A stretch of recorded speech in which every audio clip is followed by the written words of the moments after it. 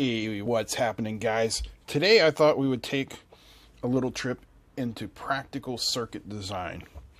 So, what do we need our circuit to do?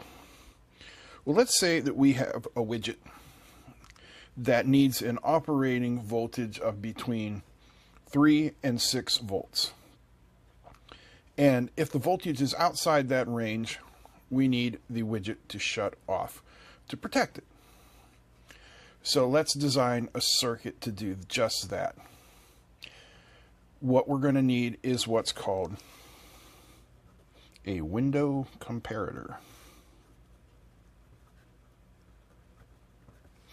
Now, I know that there are window comparator ICs available, but we're going to do this using op amps because this is the way you teach this so that you can understand the way the circuit itself works. Okay? So let's start with our two rails. We'll say 9 volt and we'll call our ground ground. All right. So the first thing we need are two op amps. Now I did a video, I don't know, maybe a month ago on comparators. And yes, I know there are standard comparators we don't need to use amps, but you know what? I don't have all that stuff at home. So we're just using what I have here.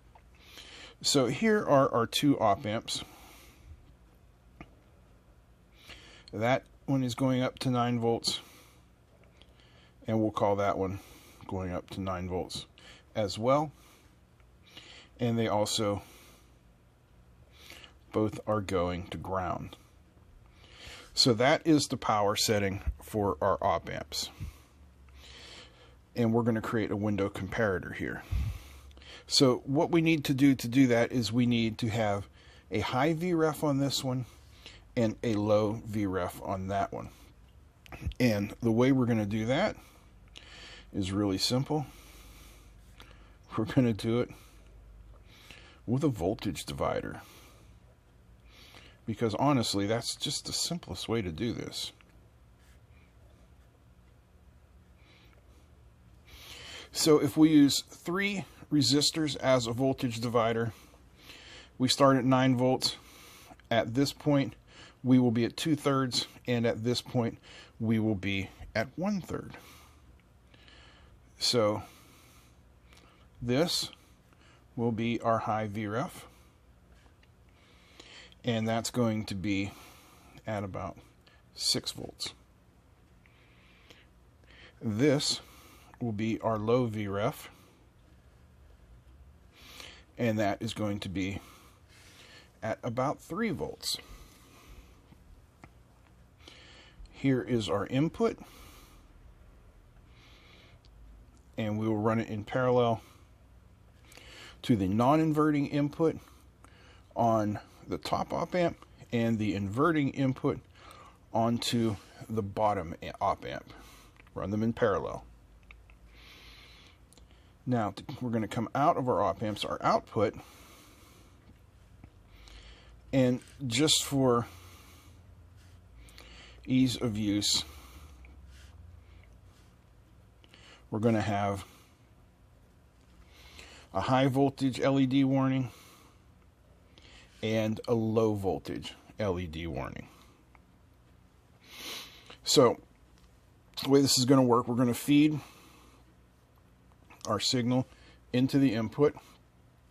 And as long as it is between 6 volts and 3 volts, the op amps will remain off. If it goes above, the high voltage warning LED will come on. If it goes below, the low voltage LED warning will come on and that gives us nice information but we really want it to do something. So we're going to have it activate a transistor in this case an NPN transistor. Boy that's a horrible horrible drawing of a transistor. Uh, the reason I'm putting in these extra diodes here is just so we don't end up back feeding those op amps. I know the LEDs are diodes as well, but this is just good practice.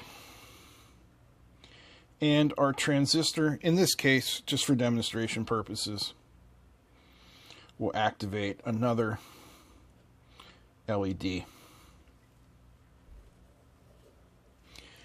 But we could easily have it activate a relay to cut the power to what we're doing.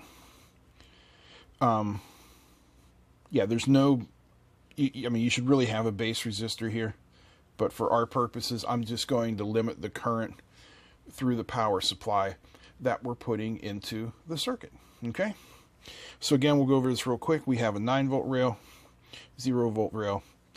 Our um, these R1, R2, R3 should all be equal. So R1 equals R2 equals R3.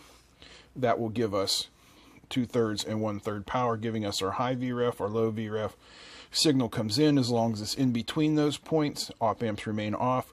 If it comes outside, the op amps turn on, activating the transistor, which will activate our voltage cutoff. Simple enough? Let's look at it practically. All right, here's the circuit on the breadboard. Just using this little supply to put 9 volts in. All right, starting over here, turn this up so you guys can see it.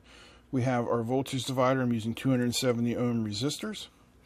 We have our high voltage warning LED, our low voltage warning LED. Uh, this is an IC. This is a TL072, which is a dual op amp I'm using. Then we have our two protection diodes, our transistor, and this is our master warn, we'll call it, okay? Now, I have another power supply. There's the ground for it. Hooked up here to our input. And right now, everything is in balance. I'm applying 4 volts to the circuit. Now, if I go low, low voltage warning comes on. Master alarm, master caution, whatever you want to call it, comes on. I'm putting in 1.9 volts now.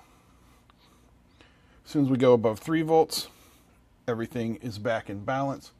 And then if we go above 6 volts, our high warning LED comes on, and again, our master warn comes on. Pretty simple. Like I said, you could substitute um, a relay in here, but I just needed, I need something that is, you know, easily viewable. So there is a voltage protection circuit using uh, window comparators and an op amp, or actually two op amps in this case. Hope you guys like this. If you did, give me a thumbs up. Feel free to comment, share. Don't forget to subscribe. Big thanks to all my patrons. And a big thanks to you for watching. That's it. I'm out. Peace.